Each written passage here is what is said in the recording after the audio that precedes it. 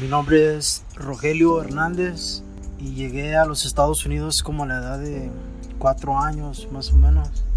La primera vez que me deportaron de la prisión me habían dejado salir. Duré como más o menos un mes trabajando. Le di dinero para que trajera a mi hija para que me conociera y fue por mi hija. Y cuando al final estuvo conmigo, porque su mamá la dejó estar conmigo una semana, al tercer día llegó los oficiales de migración mintiendo que eran oficiales del parole, cual no eran, pero no me di cuenta hasta, hasta después, ya que me llevaban al, al centro de migración. En el centro de migración me daban la oportunidad de pelear, a ver si me quería quedar en los Estados Unidos, pero había gente peleando, peleando sus casos, como dos años peleando a ver si se podían quedar y estaban deportando a todos. Entonces yo no quise desperdiciar dos años más, aparte de los cinco que había hecho encarcelado. Entonces mejor firmé mi deportación y cuando me deportaron yo llegué aquí a México. Con la voluntad de Dios me conseguí trabajo, le, les estaba echando ganas a la vida, pero me empecé a enfermar, me dio ansiedad, neurosis de ansiedad que viene de la depresión, de la soledad. Pensaba mucho en mi hija, más que nada en mi hija. Ahí es donde me puse a pensar más en ella, queriendo, queriendo estar con ella, que me conociera, compartir tiempo con ella. Llegué al momento de, de que me sentía mal, decidí regresar, regresar a los Estados Unidos. Ella me quería ver, me decía cuánto me quería y que me quería ver. En el proceso de, de regresar a los Estados Unidos, de cruzar la frontera, pues es una jornada muy larga, ¿no? Tienes que pues, estar condicionado, más que nada está caliente, el sol se pone más de, más de 100 grados, uno tiene que aguantar sedes, tiene que aguantar hambres. La primera vez logré cruzar el río, como detuvieron a todos los, los compañeros con los que iba, quedé yo solo, como yo no sabía para dónde ir, duré como dos días más o menos para llegar a donde que me iban a recoger. En el, en el proceso de los dos días, pues casi me deshidrato. Es, fue la primera vez que sentía que ya me desmayaba. No, no pensé que lo iba a lograr, pensé que me iba a quedar ahí.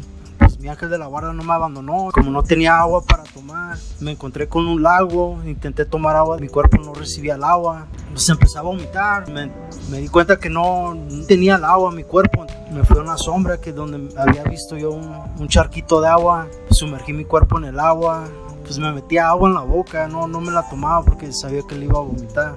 Y eso lo hice como proceso para mantener mi cuerpo más en temperatura más, más baja, porque ya, ya me estaba deshidratando.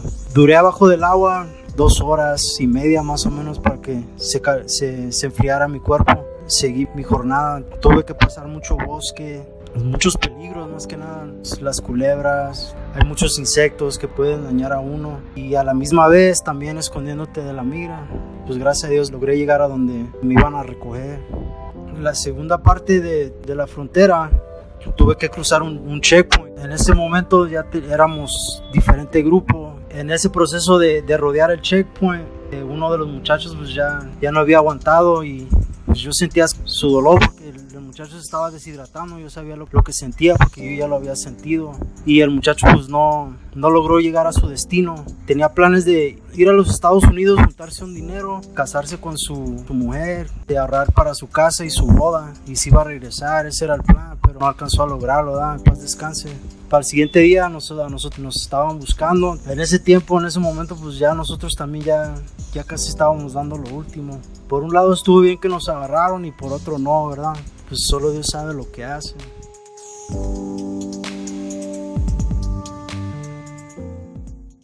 case you wonder why I did it, I did it for my daughter. That's my little angel, a form of pure love in the flesh. No matter how far apart we are, I will always be her father. Man with a purpose, with a mouth to feed, young soul to lead. I did it for her future, I did it for the times of a daughter, playing with her dad. I did it for the times while tells me that she loves me, misses me, wanna see me once again. Sometimes she trips me out just like a little.